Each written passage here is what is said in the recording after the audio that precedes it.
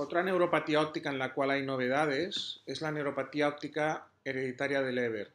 Es la segunda neuropatía óptica hereditaria, es más frecuente en varones, jóvenes, con una transmisión materna, porque se transmite a través del DNA mitocondrial. La forma de presentación es inicialmente unilateral, pero se, afecta al segundo ojo en semanas o meses y básicamente hay tres mutaciones primarias que son las responsables del 90% de los, de, las, de los casos patológicos. Hasta hace pocos años no existía tratamiento para la neuropatía óptica de Leber. Actualmente existen dos posibilidades terapéuticas. La primera es la idebenona, que es un fármaco que permite bypassar el complejo disfuncional 1 de la cadena de la fosforilación oxidativa, poniendo más electrones a disponibilidad del complejo 3, lo cual nos permite producir más ATP. Este es el único fármaco autorizado actualmente en Europa como tratamiento de la neuropatía óptica hereditaria de Leber. Y estamos a la espera de los resultados que ya empiezan a aparecer de la terapia génica, en la cual lo que se hace es inyectar intraocularmente a través de un vector de adenovirus la posibilidad de modificar el DNA mitocondrial que está en las células ganglionares. Los resultados preliminares parecen ser buenos. Hay una serie china de más de 100 pacientes y estamos a la espera también de los resultados europeos de un grupo francés que aunque han presentado sus datos en prensa, de momento no hemos apreciado que hayan salido publicados.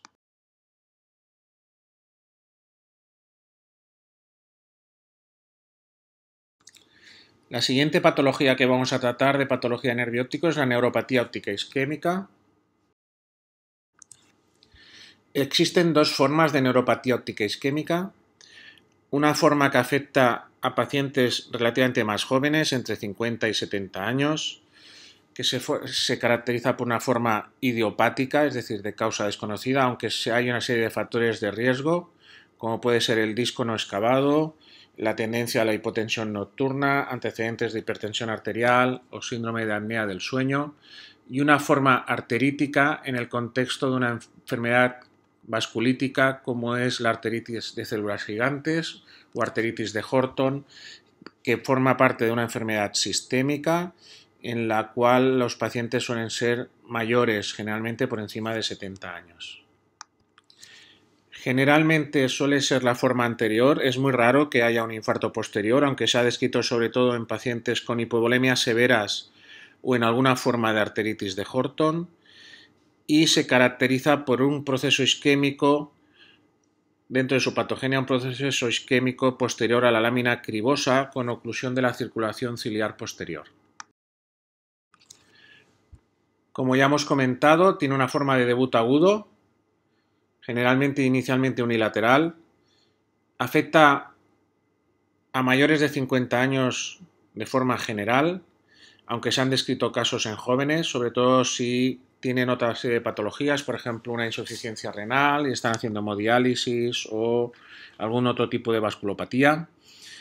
Cursa a veces con disminución de agudeza visual, pero depende de si hay afectación del campo visual central o no un defecto pupilar a frente relativo del ojo afecto, una afectación de la visión de los colores pero que es menor que la neuritis, no suele haber dolor, defecto del campo visual característicamente altitudinal en la forma no arterítica y en la forma arterítica puede presentar diversos patrones, pero es una pérdida visual más severa en la forma arterítica.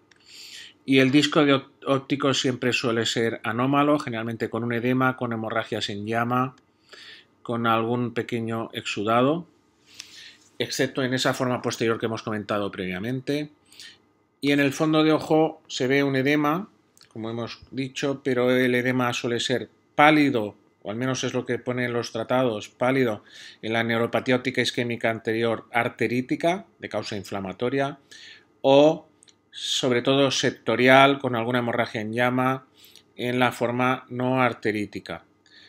En ocasiones es difícil diferenciarlas una de la otra y nos basamos también en otra serie de síntomas sistémicos, si existe o no, y hay que preguntarlo, claudicación mandibular, dolor de cabeza, cefalea, polimialgia reumática dentro de la historia o la presencia de pérdidas visuales transitorias previas en ese ojo serían muy sugestivas de una enfermedad de Horton o arteritis de células temporales.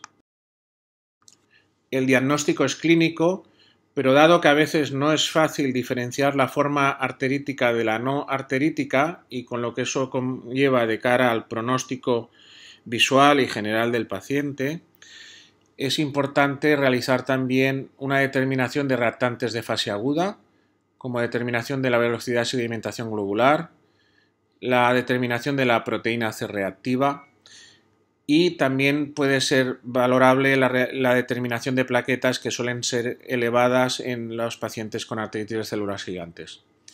Si sospechamos una arteritis de células gigantes, el tratamiento debe instaurarse de forma muy rápida con esteroides antes de obtener el gol estándar para la confirmación diagnóstica que es la biopsia de la arteria temporal.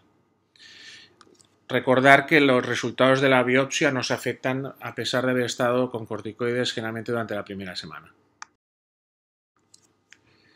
La biopsia de la arteria temporal es el gol estándar diagnóstico de la arteritis de células gigantes. Se debe realizar bajo anestesia local. Es importante ligar los cabos una vez se ha aislado y se tiene que obtener al menos 2 centímetros de arteria temporal para hacer un estudio anatomopatológico correcto, dado que la arteritis es una enfermedad segmentaria. La neuropatía óptica isquémica anterior no arterítica no tiene tratamiento. Se aconseja control de los factores de riesgo vascular, evitar las hipotensiones nocturnas, por lo que se desaconseja el uso de tratamiento hipotensor arterial por la noche, control de la apnea del sueño y no usar fármacos inhibidores de la fosfodiesterasa 5. Todas estas recomendaciones lo que buscan es intentar proteger la posible afectación del otro ojo, que suele pasar entre un sobre un 30% en un periodo de 4 a 5 años aproximadamente. Es controvertido el uso de los corticoides sistémicos en la neuropatía óptica isquémica anterior no arterítica, dado que hay controversia en cuanto al posible beneficio y efecto secundario.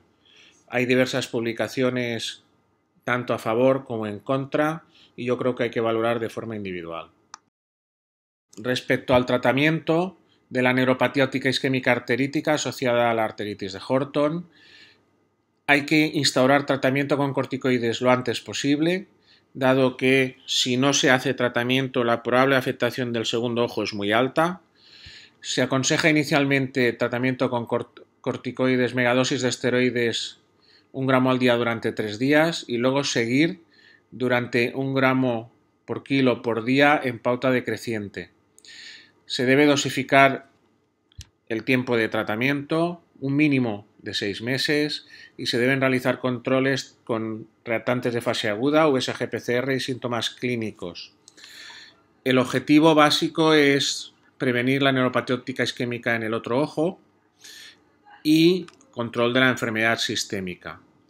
Últimamente se ha postulado que el tratamiento con tocilizumab durante 26 o 52 semanas después del diagnóstico permitiría disminuir mucho la incidencia de recidivas y sería útil también en aquellos casos resistentes.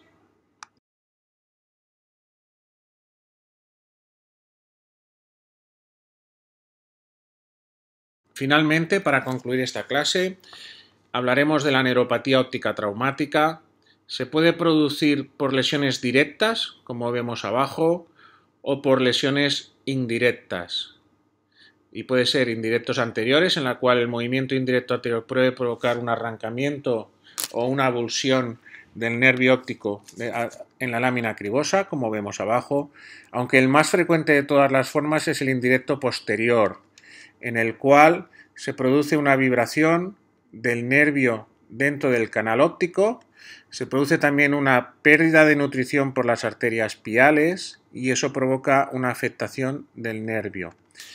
No está demostrado cuál es el mejor tratamiento para las neuropatías traumáticas, habiéndose realizado hace tiempo un estudio multicéntrico, pero que no llegó a una conclusión definitiva porque faltaban datos de pacientes, en los cuales se vio que era parecido el resultado con corticoides altas dosis en megadosis, bien realizando descompresión del, del canal óptico o dejándolo a la simple evolución. Por lo tanto, actualmente no está claro cuál es el tratamiento de la neuropatía traumática. Probablemente la ascensión terapéutica no sea de recibo. La descompresión del canal en un paciente politraumático que a veces también puede tener fractura de canal es un manejo difícil y puede ser más dañino que beneficioso. Y en algunas ocasiones se pauta tratamiento con corticoides altas dosis a dosis de un gramo al día durante tres días.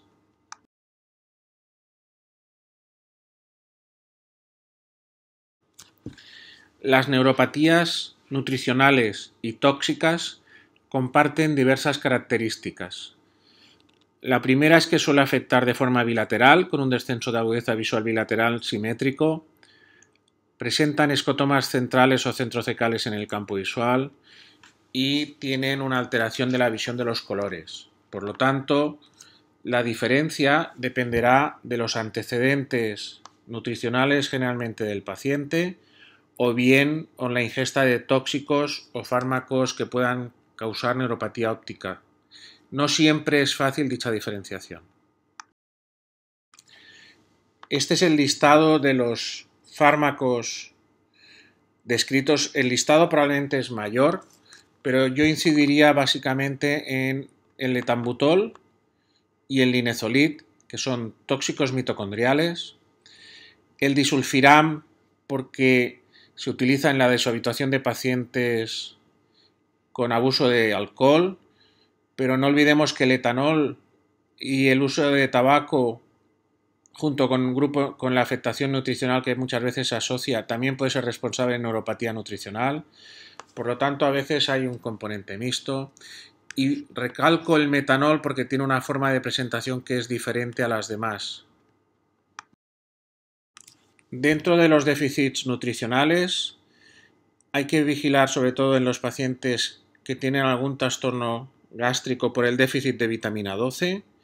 También se han descrito neuropatías asociadas al déficit de B6, de B1, de ácido fólico, o bien en un contexto general de un paciente desnutrido, que muchas veces hay un exceso de consumo de alcohol y tabaco, presentan también dicha alteración. Como hemos dicho, casi todos tienen la misma forma clínica, es decir, una pérdida visual bilateral, lentamente progresiva, con escotomas centrales o centrocecales como vemos en esta campimetría, y si se deja evolucionar en el tiempo y no se instauran las medidas terapéuticas adecuadas o preventivas, desarrolla una palidez papilar bilateral de predominio temporal. Existe otra segunda forma, que es la que vemos abajo, en la cual vemos una toxicidad por metanol, que ya hemos dicho que tiene una forma de presentación diferente, en la cual se presenta un edema de papila bilateral con una pérdida visual muy severa, que acaba generando una pérdida axonal muy importante, antes del desarrollo de la afectación metabólica que suele presentar las intoxicaciones por metanol, como acidosis respiratoria y acidosis metabólica. El tratamiento de la intoxicación por metanol es el uso de etanol para establecer un mecanismo competitivo en el en la metabolización de dicho, de dicho tóxico.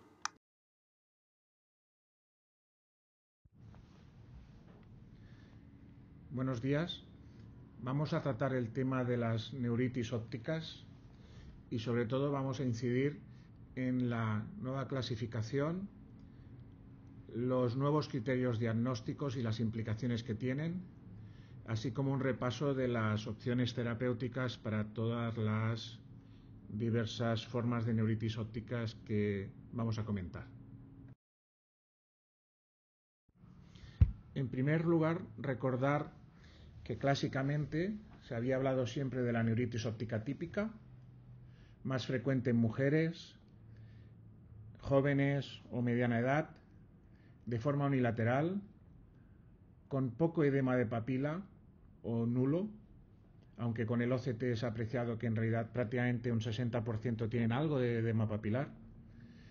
Sobre todo, con, muy importante, un 93% con dolor a la motilidad ocular, que puede preceder a la pérdida visual, asociándose a alteración de la visión de los colores, un defecto pupilar aferente relativo y un defecto de campo visual que, dependiendo de la técnica de exploración, pues puede ser central o centrocecal, o en campimetría computerizada puede ser también más frecuente difuso. Normalmente tiene entre una y dos semanas de debut, se establece la pérdida visual máxima y posteriormente va mejorando de forma progresiva, más o menos hasta los 6-8 semanas, sin tratamiento. Se puede mejorar o acelerar dicha recuperación con el uso de corticoides endovenosos. A reseñar que un 24% de estos casos suele ser la forma de debut de esclerosis múltiple y que representa el 43% de los síndromes clínicos aislados asociados a esclerosis múltiple. Aquí vemos un ejemplo de un defecto pupilar aferente en la exploración con estímulo luminoso, presentando frente a un ojo sano en el cual se cierran ambas pupilas, presentándose, alternando después frente al ojo patológico en el cual se produce una dilatación tanto de la patológica como del reflejo consensual.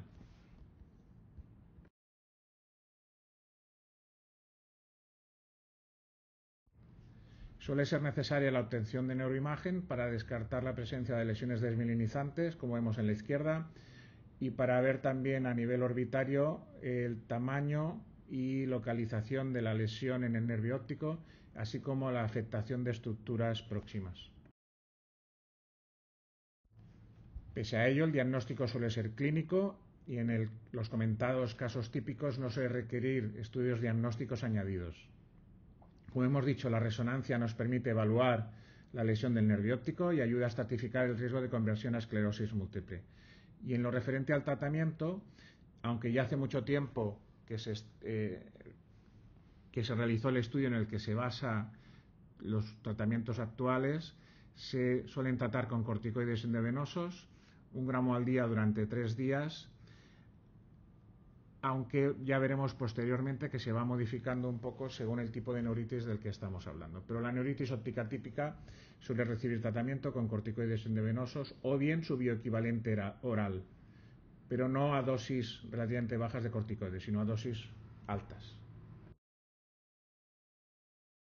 Existen unos signos de alarma, lo que le llamamos red flags, frente a las cuales tenemos que pensar que no estamos frente a una neuritis óptica típica, sino que bien por su presentación atípica, como podemos ver aquí, dolor o pérdida visual de más de dos semanas o ausencia de dolor, presencia de anomalías retinianas, atrofia óptica no explicada, pérdida visual, severa en pacientes de raza no sajona, anglosajona o caucásica, o pérdida visual muy severa sin recuperación precoz, habría que pensar que bien estamos frente a alguna de las neuritis atípicas o bien estamos frente a otro proceso que afecta al nervio óptico, bien sea hereditario, inflamatorio o degenerativo, y también aquellas situaciones en las cuales el curso es atípico, bien por progresión de la pérdida, ausencia de recuperación o deterioro de la función visual tras retirar o bajar corticoides, nos podemos encontrar también en lo que llamamos otro tipo de neuropatías atípicas.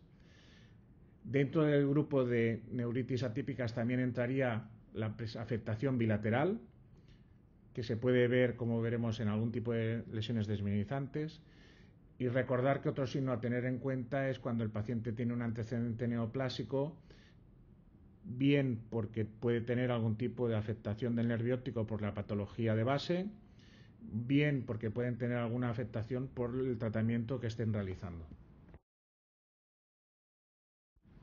Por lo tanto, lo que es importante es tener en cuenta los criterios de confirmación diagnóstica.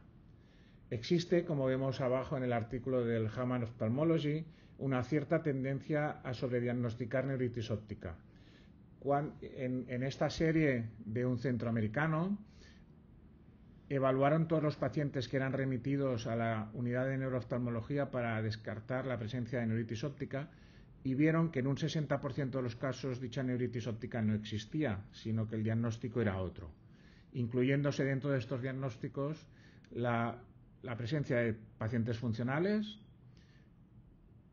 situaciones de neuropatía óptica isquémica anterior, situación concomitante de cefalea con dolor ocular o bien otro tipo de neuropatías como podría ser la neuropatía de Leber en pacientes varones jóvenes.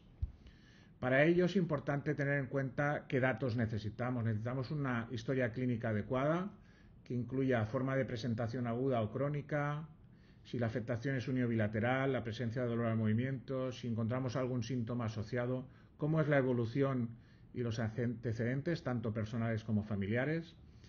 Y en la exploración es necesario evaluar la agudeza visual, la respuesta pupilar, ver si hay defecto pupilar aferente, el test de los colores, que se puede utilizar tanto el test de Ishihara como el HRR. La campimetría computerizada es últimamente de vital importancia la realización de la tomografía de coherencia óptica, tanto para indicar normalidad o no, así como el control evolutivo, ver si hay edema de papila, ver si hay pérdida de células de fibras nerviosas o de células ganglionares y la evaluación del fondo de ojo para descartar otras alteraciones. En virtud de estas dificultades a veces y de este sobrediagnóstico, en el 2022 se publicó un artículo liderado por el grupo Axel Petzol y Gordon Plan, en el cual participamos muchos neurooftalmólogos a nivel internacional, en los cuales se establecieron los criterios diagnósticos y de clasificación de neuritis óptica, que es como vemos en el panel de la derecha. Hay una serie de criterios clínicos que son la pérdida visual lo que sería el caso típico, monocular, subagudo, con dolor, con disminución de la visión de los colores y defecto pupilar aferente. Lo mismo que en, la parte A, pero sin dolor, o bien afectación binocular con, con las alteraciones de A y B. Hay también criterios paraclínicos que incluyen el OCT, por lo tanto es importante realizar un OCT la resonancia magnética, como hemos visto tanto en la búsqueda de lesiones desminimizantes como ver la captación o el realce a nivel del nervio óptico. Y se han añadido una serie de marcadores o biomarcadores serológicos que serían la determinación de anticuerpos, los antiacoporina 4, los antiglicoproteína del oligoendrocito o los anti-CRMP5, que son para neoplásicos, y también están incluidos dentro, para favorecer el diagnóstico, la presencia de bandas oligoclonales o no en líquido cefalorraquídeo. Entonces, para establecer estos criterios diagnósticos y de escleros de neuritis óptica definida, neuritis óptica posible o no neuritis óptica, se establecen una serie de combinaciones dependiendo de los criterios clínicos y de los criterios paraclínicos tal como vemos aquí abajo. Lo vemos más claro en este esquema en el cual para tener un criterio de diagnóstico de neuritis óptica definida ah, se habla con los criterios A, es decir, la forma típica, y con uno de los test paraclínicos tendríamos suficiente. Si no hay dolor necesitaríamos dos de los test paraclínicos y si hay A o B pero es binocular, eh, necesitaríamos A y B pero de forma binocular, necesitamos también la resonancia y alguno de los otros test paraclínicos. Si para definir la posible neuritis óptica necesitamos eh, los criterios por historia o clínicos vistos en la fase aguda, y si, es posible obtener también eh, los datos de los test paraclínicos, aunque solo sean de forma retrospectiva. Y finalmente pensamos en que no hay neuritis óptica si hay una pérdida de visión que aunque cumplan los factores sugieren otro tipo de patología alternativa que nos puedan originar o determinar cuál ha sido la causa de esa pérdida visual. Una vez tenemos establecido el diagnóstico de neuritis óptica, es importante determinar si la causa es dentro del grupo de autoinmune neurológicas o dentro de las causas sistémicas o infecciosas. Aquí está la clasificación del nivel 2 de consenso, en el cual se determinan que puede haber neuritis óptica autoinmune asociadas a anticuerpos anticoprina 4, anti-CRMP5, antiglicoproteína del hidrodendrocito, asociado también a esclerosis múltiple, formas aisladas únicas o recurrentes, o bien crónicas recurrentes, como sería el crayon.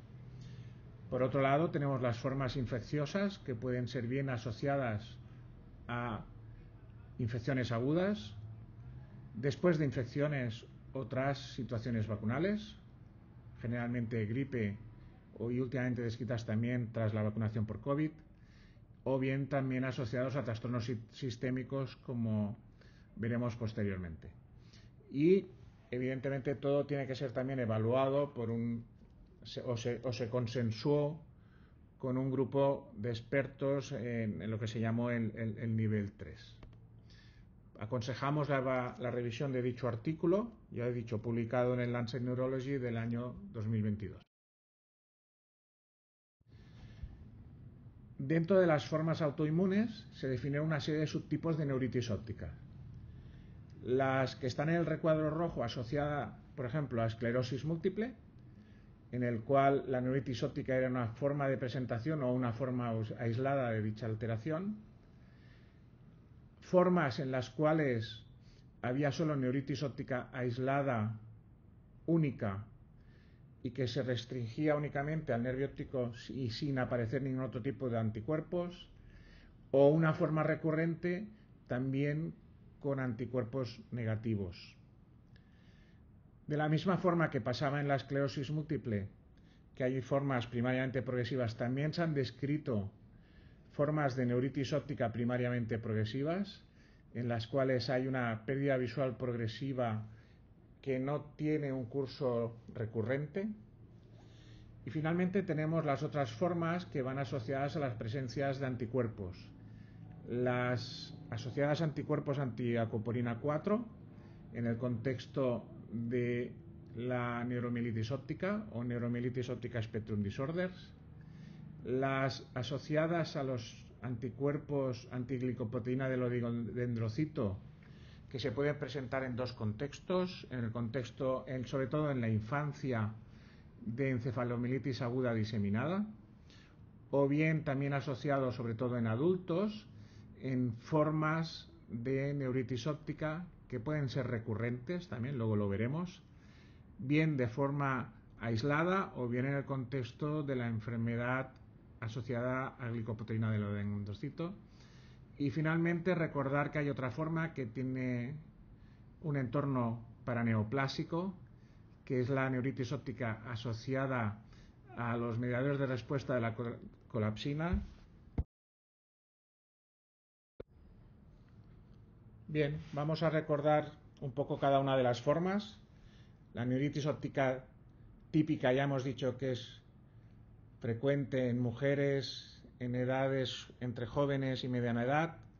Suele ser una forma unilateral con una papila normal o leve edema, con dolor a los movimientos oculares, discromatopsia, defecto pupilar aferente y una afectación campimétrica, que tiene una forma de debut entre una y dos semanas y posterior mejoría progresiva. Y ya hemos dicho que va más asociada generalmente a ser una forma de debut de esclerosis múltiple o una forma de síndrome clínico aislado. Las neuritis ópticas asociadas a la neuromielitis óptica tienen una presentación uniobilateral, pero son mucho más severas que en la esclerosis múltiple. Tiene mucha peor respuesta al tratamiento corticoideo, precisando muchas veces el uso de plasmaféresis y rituximab en el tratamiento. Presentan secuelas más importantes y la explicación es muy lógica. El anticuerpo de la coporina 4, su target es directamente el astrocito, no son el oligodendrocito ni las fibras de melina, sino que es el astrocito. Recordemos que a, aún los criterios de neuromielitis óptica que están vigentes son los del año 2015, en los cuales hay unos criterios diagnósticos, como vemos arriba a la derecha, que en los cuales se incluye la presencia de alguno de los datos clínicos que se comentan, la presencia de positividad de acuaporina 4 también es otro valor y la exclusión de otros criterios diagnósticos y según esa combinación se puede considerar como criterios diagnósticos de neuromielitis óptica con o sin anticuerpos acuaporina 4 positivo. Los datos clínicos más primordiales son la presencia de neuritis óptica, la presencia de mielitis aguda, síndrome del área postrema, narcolepsia sintomática o síndromes cerebrales sintomáticos con lesiones típicas en la resonancia. La otra forma que hemos visto que va asociada a anticuerpos son las neuritis asociadas al, anticuerpo glicoproteína del oligodendrocito. Las características de esta neuritis son diferentes. Suele ser una neuritis que cursa mayormente con edema de papila, con una afectación larga de predominio posterior. Cuando decimos larga queremos decir más de 10-15 milímetros. Y muchas veces hay afectación también perineural. Y en este caso, como hemos dicho antes, el target del anticuerpo es el oligodendrocito. Recientemente aparecieron los criterios diagnósticos para dicha enfermedad, que se basan en primer lugar en la presencia de la positividad del anticuerpo y en, dentro de los hallazgos clínicos la presencia o no de encefalomitis aguda diseminada, neuritis óptica, incluyendo formas recurrentes crónicas, mielitis transversa y afectaciones del tronco del cerebro compatibles con desmilinización y diversas combinaciones y haber excluido cualquier otro posible diagnóstico alternativo.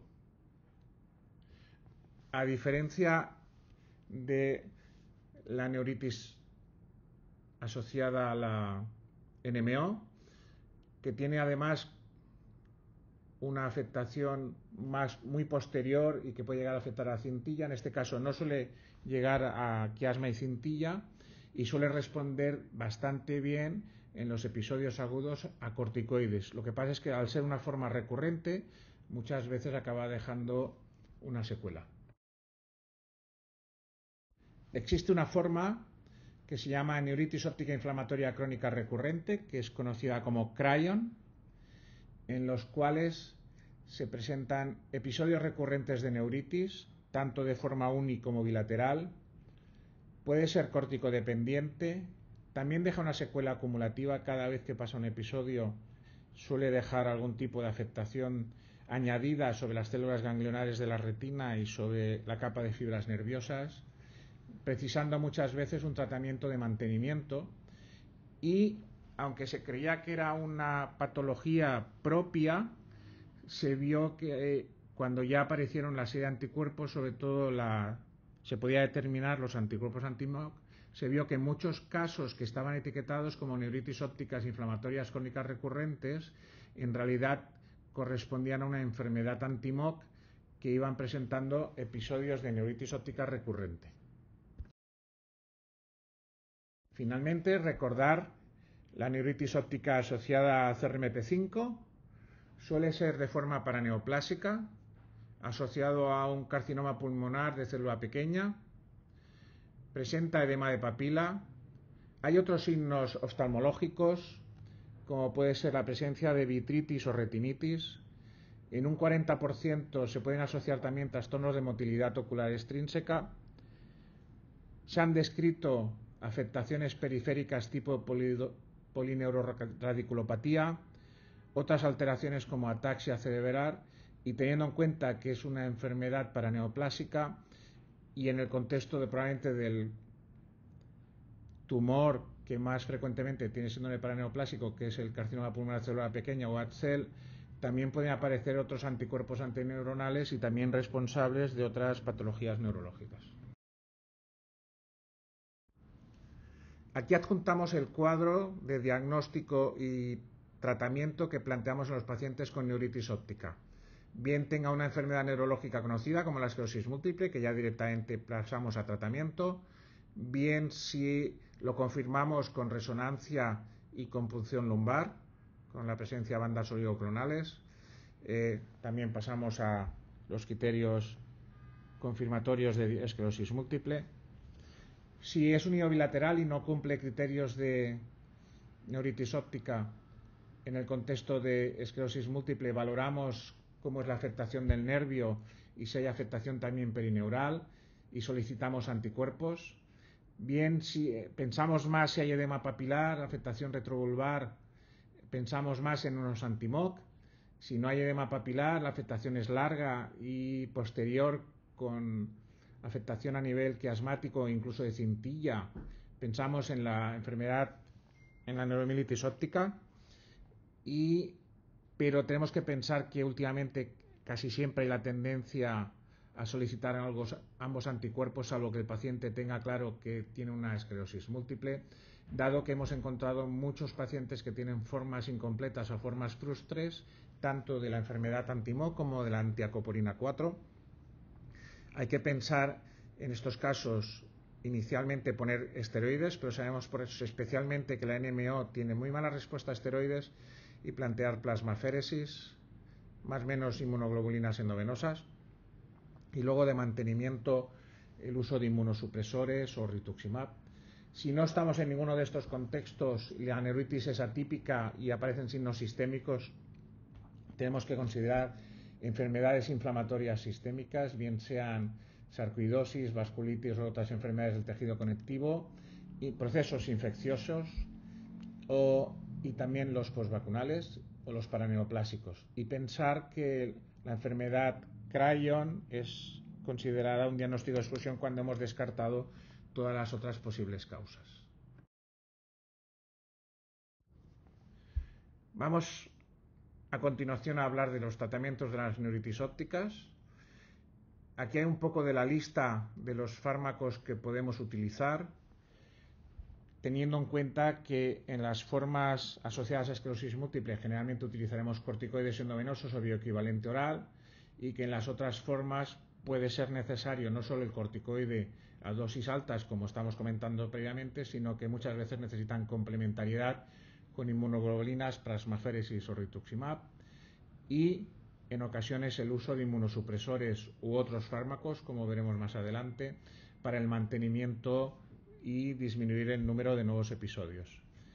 A reseñar que el uso de neuroprotectores no se ha visto que en este momento sea efectivo y que otros fármacos como la eritropoyetina, la difenilidantoína o el opicimumab que se habían descrito como también posibles tratamientos en la protección del nervio óptico no han mostrado unos resultados que sean satisfactorios.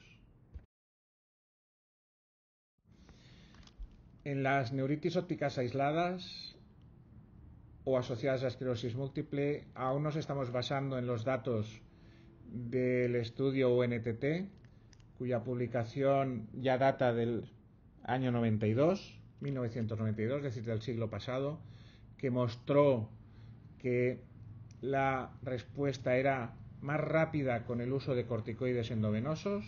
En aquella pauta eran 250 miligramos endovenosos de metilprednisolona durante cada seis horas durante tres días seguidos de una pauta de creciente oral muy rápida.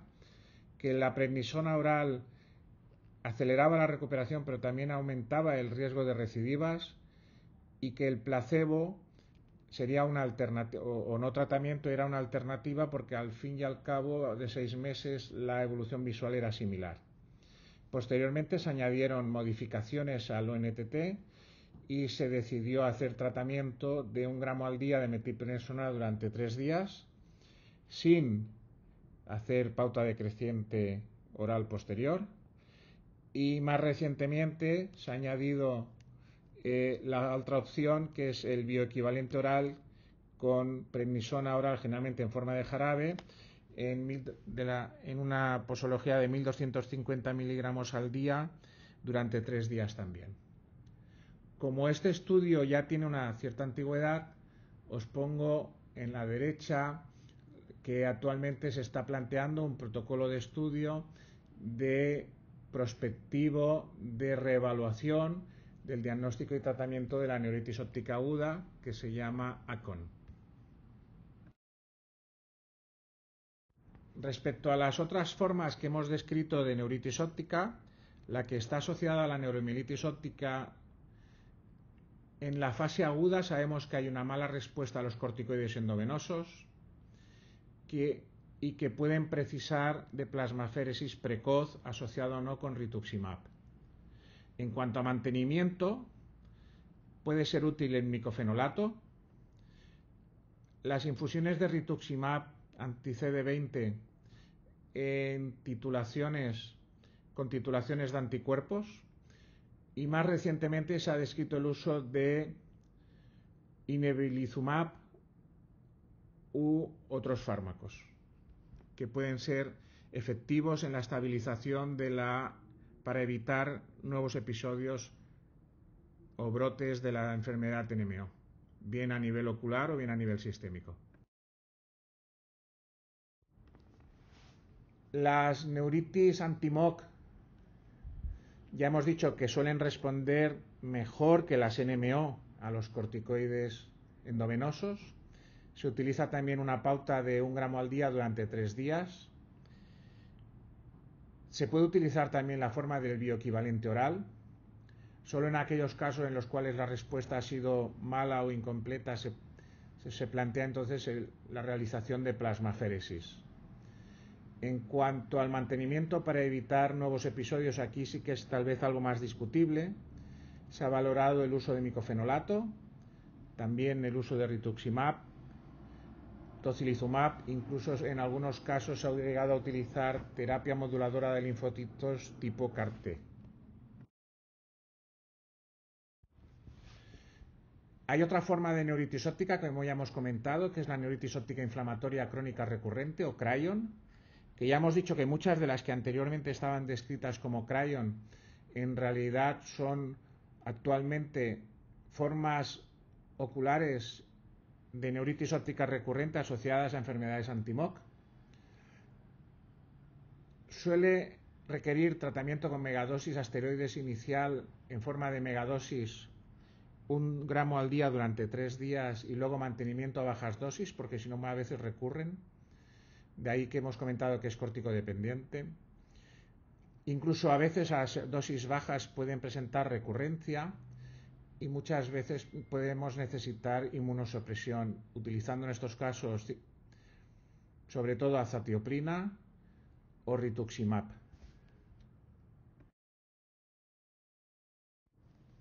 Finalmente, las neuritis anti-CRMP5. El tratamiento consiste en identificar y tratar en lo posible la neoplasia de base, que ya hemos visto que muchas veces es una enfermedad pulmonar. Puede utilizarse también en fase inicial los tratamientos con esteroides endovenosos, altas dosis o el bioequivalente oral.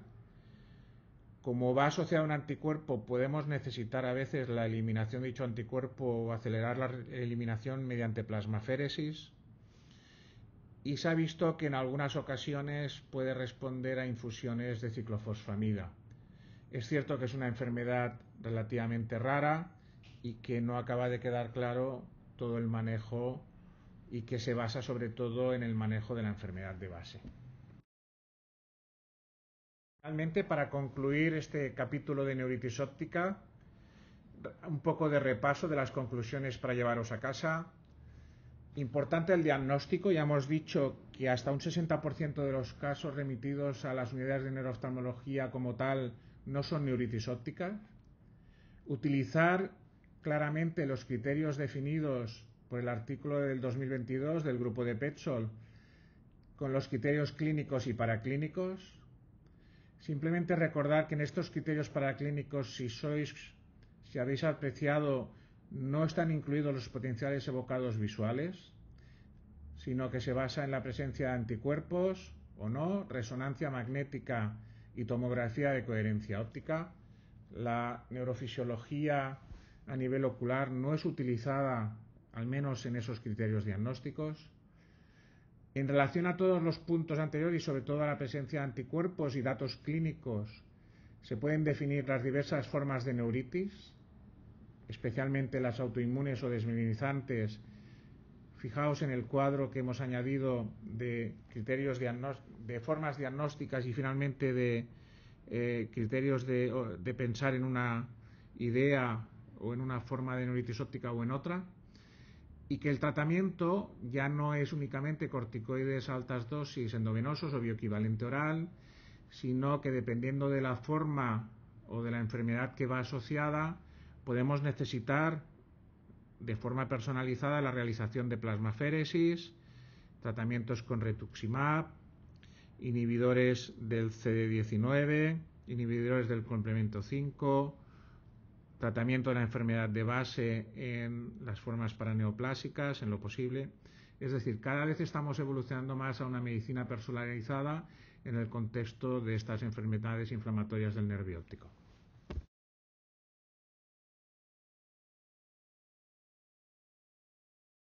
La papila de Bergmeister es un remanente de los vasos hialoideos y o de sus elementos gliales a nivel de la papila. Su aparición es congénita y unilateral en el 90% de los casos.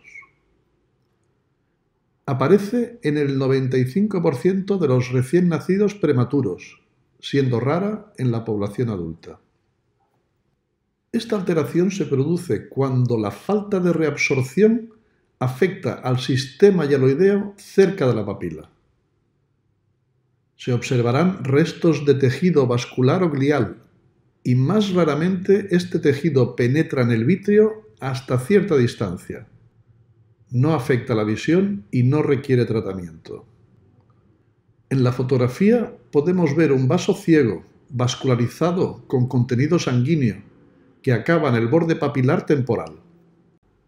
En este otro caso de papila de Bergmeister podemos ver únicamente la persistencia de tejido glial papilar, que se adentra una corta distancia en el vitrio y de la zona retiniana peripapilar nasal e inferior. Fue descrita por primera vez a finales del siglo XIX por el oftalmólogo austríaco Otto Bergmeister. Aquí podemos ver la clasificación de los diferentes tipos de persistencia del sistema hialoideo. El primero de ellos, el más posterior, la papila de Bergmeister. Luego tenemos la mancha de Mittendorf, el pliegue falciforme y el vítreo primario hiperplásico persistente anterior. Embriológicamente, durante la quinta semana de gestación, la vesícula óptica se invagina y se separa ligeramente de la placoda cristaliniana. El canal hialoideo se desarrolla a las siete semanas del periodo embrionario y es a través de este canal que penetran los vasos hialoideos, que desde la papila viajarán a través del vítreo por su parte central y desde atrás hacia adelante, hasta llegar a la placoda cristaliniana, donde formarán la túnica vasculosa lentis, que es la encargada de la irrigación del cristalino durante el desarrollo embrionario. Este sistema vascular se atrofia y se reduce progresivamente hasta desaparecer totalmente en el momento del nacimiento.